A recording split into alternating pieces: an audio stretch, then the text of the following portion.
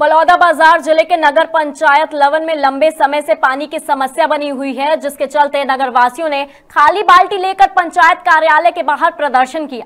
आपको बता दें कि नगर पंचायत लवन में करोड़ों रुपए खर्च कर जल आवर्धन योजना के तहत फ़िल्टर प्लांट लगाया गया है। इसके बावजूद भी लवन के वार्ड क्रमांक तीन और छह समेत अन्य वार्डो में पानी की किल्लत बनी हुई है, जिसके तहत स्थानीय महिलाओं ने प्रदर्शन करते हुए कहा कि नगर पंचायत के द्वारा जल कर और संपत्ति कर समय पर वसूल वसूल कर लिया जाता है। लेकिन नगर पंचायत के द्वारा समय पर पानी उपलब्ध नहीं कराया जाता है। इसी क्रम में पंचायत क्षेत्र की महिलाओं ने कहा कि आने वाले तीन दिन में अगर इस समस्या का सुधार नहीं किया गया तो हम आंदोलन करने के लिए बाध्य होंगे। वहीं जब सीएमओ प्रवर प्रधान से इस मामले को लेकर बात की गई तो उन्होंने कहा, इस, इसे जल्दी ही समस्या का समाधान करने का आश्वासन दिया।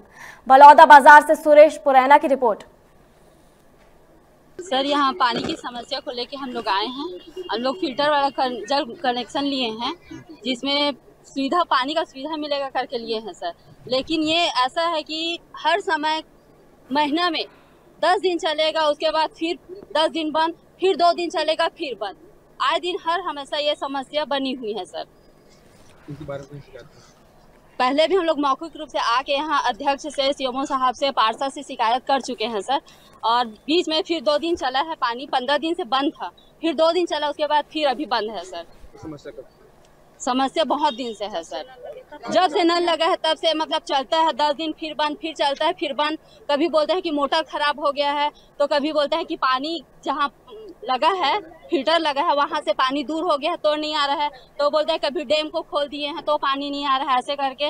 आए दिन कुछ ना कुछ समस्या बता के बस वैसे ही बोल के बोल दे रहे हैं सर। अभी विगत लगभग चार पाँच दिनों से लवन नगर में पानी की समस्या बनी हुई है क्योंकि हमारे यहाँ जो राम जोंधरा पनरिया में जो फ़िल्टर प्लांट बनाया गया है वहाँ एक्चुअली पानी का जो लेवल है वो काफ़ी नीचे होने के कारण जो है मोटर जो है चल नहीं पा रहा इसलिए लवन नगर में पानी की समस्या बनी हुई है। समस्या कब तक समस्या की समस्या दूर करने के लिए अभी फ़िलहाल टैंकर को वार्डो में घुमाया जाएगा और जितना शीघ्र ही इस समस्या को दूर करने के लिए सभी जनप्रतिनिधियों के साथ बैठकर इस समस्या का समाधान करते हुए शीघ्र ही समस्या का वो किया जाएगा समाधान।